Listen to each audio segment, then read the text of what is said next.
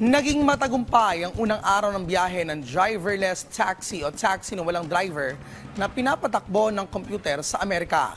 Ayon kay Catherine Allen, tester ng Waymo Company, mas tiwala siya sa biyahe ng driverless taxi kumpara sa tao. Igin ng driverless taxi ang kanyang takbo at tumihinto-hinto sa tamang lugar o babaan. Bukod sa Waymo, nag-umpisa rin ngayong araw ang biyahe ng driverless taxi ng Cruise. Pinapayagan lang silang bumiyahe sa buong California pero bawal sila sa freeways.